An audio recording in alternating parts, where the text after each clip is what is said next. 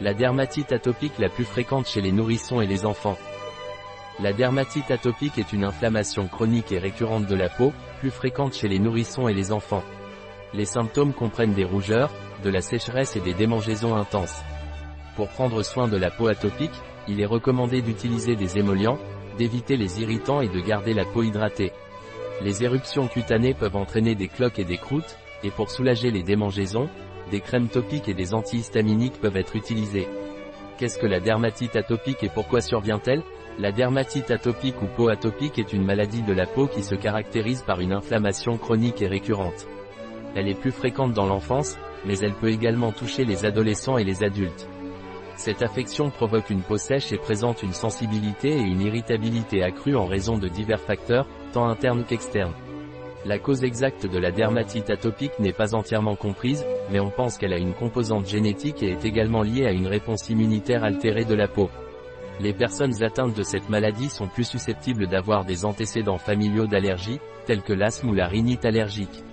Les déclencheurs externes, tels que le temps sec, l'exposition à des allergènes, tels que le pollen, les acariens ou les poils d'animaux, et certains irritants contenus dans les produits de soins de la peau, peuvent aggraver les symptômes de la dermatite atopique. De plus, des facteurs internes tels que le stress, les infections et les changements hormonaux peuvent également jouer un rôle dans le développement et l'aggravation de cette maladie. Les symptômes typiques de la dermatite atopique comprennent des rougeurs, une sécheresse, des démangeaisons intenses et l'apparition de plaques squameuses sur la peau. Les zones les plus fréquemment touchées sont généralement les plis du coude et du genou, le cou, les poignets et les chevilles. Quelles sont les causes de la peau atopique? La dermatite atopique est une affection cutanée complexe qui résulte d'une combinaison de facteurs génétiques, immunologiques et environnementaux. Lorsque la barrière naturelle de la peau est perturbée, celle-ci devient plus perméable aux allergènes, ce qui déclenche une réaction inflammatoire du système immunitaire. La prédisposition génétique est le principal facteur à l'origine de cette affection cutanée et est souvent influencée par des antécédents familiaux de dermatite atopique ou d'autres allergies. En plus des facteurs génétiques, il existe d'autres facteurs, internes et externes, qui peuvent affecter l'apparition et la gravité de la maladie. Parmi les facteurs externes qui influencent les symptômes de la dermatite atopique, la météo joue un rôle important. Pendant l'hiver, les basses températures peuvent augmenter l'irritabilité de la peau, il est donc crucial de maintenir des soins de la peau constants à cette période de l'année. D'autre part, la chaleur peut également être nocive, car elle augmente la transpiration et peut modifier le pH de la peau, ce qui favorise l'apparition d'irritation et de démangeaisons. De même, les modifications de la flore bactérienne de la peau dues à ces conditions peuvent aggraver la situation. Éruption d'eczéma sur la peau Selon le service de dermatologie de l'hôpital d'Elmar, l'eczéma est une affection cutanée qui se manifeste par une inflammation cutanée. Cette affection se caractérise par une combinaison de rougeurs, de bosses ou de lésions en relief, et parfois l'apparition de petites cloques ou d'une desquamation. La dermatite atopique est le type d'eczéma le plus courant, selon les informations fournies par la Science Foundation for Drugs and Health Products. L'Académie espagnole de dermatologie et de vénéréologie souligne que jusqu'à un quart des personnes qui souffrent de dermatite atopique pendant leur enfance développent un eczéma des mains à des degrés divers tout au long de leur vie d'adulte. Comment savoir si j'ai la peau atopique? Il est essentiel que toute altération inhabituelle apparaissant sur notre peau soit évaluée par un dermatologue. Ce spécialiste analysera le type de peau, détectera d'éventuelles affections cutanées et proposera des solutions adaptées. Il est important d'être attentif à tout changement ou aspect différent de la peau et de bien l'entretenir avec des produits qui la nourrissent, spécialement adaptés à notre type de peau. Caractéristiques de la peau atopique La peau atopique se caractérise par des symptômes tels que l'inflammation, les rougeurs, les démangeaisons, la fragilité et la sensibilité. Ces symptômes surviennent en raison d'un manque d'hydratation et, ou d'huile dans la peau, ce qui la rend plus sèche que d'habitude et sujette aux irritations. Pourquoi la dermatite atopique survient-elle chez les bébés? La peau des bébés et des enfants est différente de celle des adultes en raison de caractéristiques spécifiques. Leur barrière cutanée est plus fine et elles produisent moins de sébum et de sueur, ce qui les rend particulièrement sensibles aux problèmes de peau. Les antécédents familiaux sont le principal facteur de risque de développer une dermatite atopique. Si l'un des parents est atteint de cette maladie, le risque qu'un bébé la développe est multiplié par 1,5, tandis que si les deux parents en sont atteints, le risque est multiplié par 3 à 5. D'autres facteurs de risque pouvant déclencher l'atopie sont un dysfonctionnement du système immunitaire, notamment des immunoglobulines E et G, des altérations de la microflore bactérienne intestinale et une alimentation riche en sucre et en acides gras polyinsaturés. De même, les facteurs environnementaux influencent également l'apparence de la peau atopique. Vivre dans des milieux urbains industrialisés, des régions à faible exposition aux rayons ultraviolets ou des conditions climatiques sèches peut avoir un impact sur l'incidence de cette affection cutanée. Symptômes de la peau atopique chez les bébés et les enfants en général, la peau atopique se manifeste par des démangeaisons intenses et incontrôlables et la présence de lésions eczémateuses pouvant apparaître n'importe où sur le corps. Lorsque la dermatite atopique survient chez les bébés allaités, les lésions cutanées sont généralement plus aiguës et peuvent inclure une rougeur intense, un gonflement, des écorchures, un suintement séreux ou des croûtes.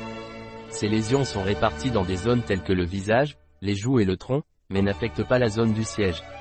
Dans l'enfance, la dermatite atopique a tendance à devenir plus localisée et chronique, avec des rougeurs plus pâles, une peau sèche et un épaississement dû au grattage répétitif. Ils ont tendance à affecter particulièrement les zones de flexion, telles que les genoux et les coudes. Ces symptômes sont définis selon les critères ANIFIN et RAICA, qui sont utilisés par des sociétés et des groupes médicaux, tels que l'American Academy of Dermatology. Pour évaluer la gravité de la dermatite atopique, les professionnels de la santé utilisent souvent l'échelle SCORAD, Scoring Index of Atopic Dermatitis. Conseil pour prendre soin de la peau atopique du bébé et de l'enfant Les soins de la peau atopique du bébé et de l'enfant doivent être personnalisés et il est recommandé de faire évaluer chaque cas par un spécialiste. Il est essentiel de fournir aux familles suffisamment d'informations pour atténuer les symptômes de l'atopie et améliorer la qualité de vie. Aujourd'hui, la dermatite atopique peut s'améliorer d'elle-même et peut être traitée. Le traitement vise à améliorer la barrière cutanée grâce à l'hydratation, à soulager les démangeaisons, à réduire l'inflammation, à équilibrer la flore bactérienne de la peau, à réduire les éruptions cutanées et à réduire le risque d'infection. Voici quelques conseils pour le soin des bébés et des enfants à peau atopique. Utilisez des émollients sans parfum une à deux fois par jour. Ces produits sont indispensables pour la prévention et le traitement quotidien de la dermatite atopique. Ils aident à retenir l'humidité de la peau, réduisant ainsi la gravité des lésions et des éruptions cutanées. Il est recommandé d'utiliser des émollients contenant des lipides structuraux tels que les céramides, l'urée, l'acide lactique, entre autres, et de les appliquer après le bain. Bain court à l'eau tiède, des bains courts de 10 minutes maximum à l'eau tiède sont recommandés. Ces bains procurent une hydratation et nettoient la peau des croûtes, des squames et des irritants.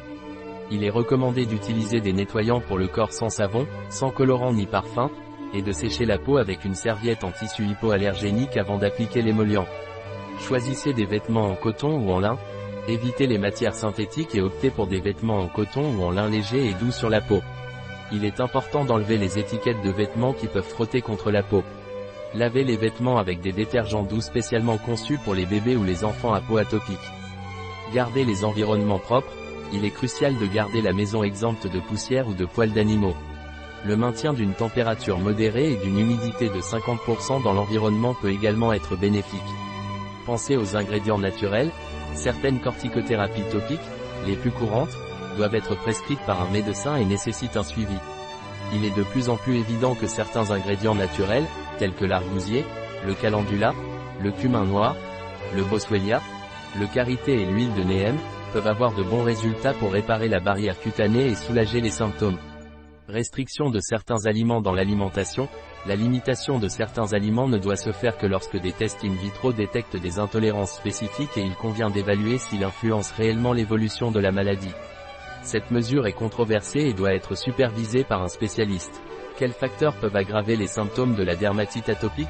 Allergie au pollen, aux moisissures, aux acariens ou aux animaux rhume et air sec en hiver le rhume ou la grippe contact avec des matières irritantes et des produits chimiques contact avec des matériaux rugueux tels que la laine peau sèche stress émotionnel peau sèche en prenant des bains ou des douches fréquents ou en nageant fréquemment avoir trop froid ou trop chaud, ainsi que des changements brusques de température parfum ou colorants ajoutés au savon ou lotion pour la peau. Quel changement peut-on observer sur une peau atopique lors d'une poussée?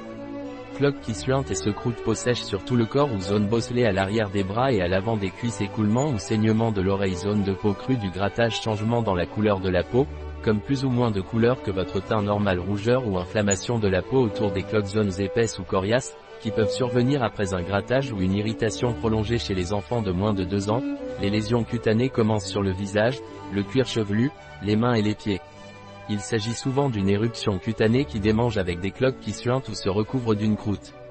Chez les enfants plus âgés et les adultes, L'éruption cutanée est le plus souvent observée à l'intérieur des genoux et des coudes. Il peut également apparaître sur le cou, les mains et les pieds. Chez l'adulte, l'éruption cutanée peut se limiter aux mains, aux paupières ou aux organes génitaux. Les éruptions cutanées peuvent survenir n'importe où sur le corps lors d'une épidémie intense. Des démangeaisons intenses sont courantes. Il peut commencer avant même que l'éruption n'apparaisse. La dermatite atopique est souvent appelée éruption cutanée avec démangeaison, parce que les démangeaisons commencent, puis l'éruption cutanée apparaît à la suite du grattage. Que pouvons-nous faire pour éviter de rayer l'éruption cutanée ou la peau? Une crème hydratante, une crème stéroïde topique ou d'autres médicaments prescrits par votre fournisseur de soins de santé peuvent être utilisés pour contrôler les symptômes et réduire les démangeaisons. Il est conseillé de prendre des antihistaminiques par voie orale pour soulager les démangeaisons intenses. Gardez les ongles soigneusement coupés et envisagez de porter des gants souples lorsque vous dormez si la personne a tendance à se gratter la nuit. La peau doit être maintenue hydratée en utilisant des onguents, comme la cire de pétrole, des crèmes ou des lotions 2 à 3 fois par jour. Il est important de choisir des produits pour la peau qui ne contiennent pas d'alcool, de parfum, de colorant ou d'autres produits chimiques. L'utilisation d'un humidificateur domestique peut également aider à garder l'air humide et profiter à votre peau. Quels facteurs peuvent aggraver les symptômes de la peau atopique? Aliments pouvant provoquer une réaction allergique chez les très jeunes enfants. Matières irritantes, comme la laine et la lanoline. Savon ou détergents puissants, ainsi que produits chimiques et solvants. Changement soudain de la température corporelle et du stress, car ceux-ci peuvent provoquer la transpiration et aggraver l'irritation. Déclencheurs qui provoquent des symptômes d'allergie. Que faut-il prendre en compte lors du bain de l'enfant ou du bébé à la peau atopique? Le temps de contact avec l'eau doit être limité, en optant pour des bains courts avec de l'eau froide au lieu de longs bains avec de l'eau chaude.